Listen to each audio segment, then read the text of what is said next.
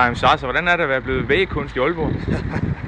Ja, det er ikke noget, man er vant til til daglig, men jeg synes, at det er meget morsomt, og folk øh, de har også kommet, kun kommet med positive tilkendegivelser, må jeg sige. Du er begyndt at køre en anden vej på Aalborg Stadion nu. Nej, det er jeg ikke.